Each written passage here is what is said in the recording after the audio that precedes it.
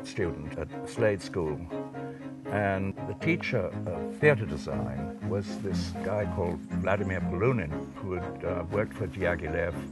Something rubbed off him, I mean, and is the fact that he'd worked with Picasso, worked on these sets, and I think I've developed, without realizing it, a sort of sense of, of, of theatre. Is that also where you first became interested in Picasso?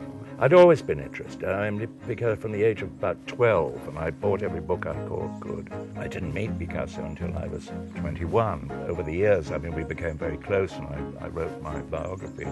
And then I needed somewhere else to work, and so I built this, this building, and it's based on the um, Schinkel Pavilion in Berlin. And the garden around it, I think, is very, very stunning because it's, it's not entirely like most gardens you see in America, and that it's it's sort of uh, seemingly very spontaneous. Yeah, I mean, I didn't work to an architectural plan; it just grew, and I add things or take things, but there's absolutely no sort of decorative um, vision involved. It's I just it's a reflection of myself and my taste. Sometimes for hideous things, I, I think it's important to have a few really hideous things. Otherwise, it looks like too much ghastly good taste. In a sense, I think it matches your interiors very well in that both the garden and the inside of your houses show a, a great sort of dramatic flair. That's just me. I mean, it's my accumulated mess, which I've, over the years, things I've brought up.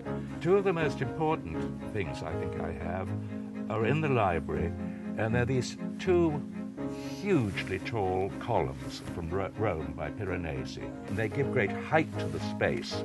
The pictures you have, there are those two rather huge uh, paintings in the in the oh, guest yes. house. The, the big Dutch landscapes, 18th century landscapes. They're rather handsome. I've never found out who, who painted them. I mean, they they furnished the room. I, mm. I loathe the decorator look. You know, I think that uh, that you've got to express yourself. I mean, where, however whatever form they take, should reflect what, one's own tastes. I don't know, I suppose one leaves one's stamp on one's surroundings, for better or worse.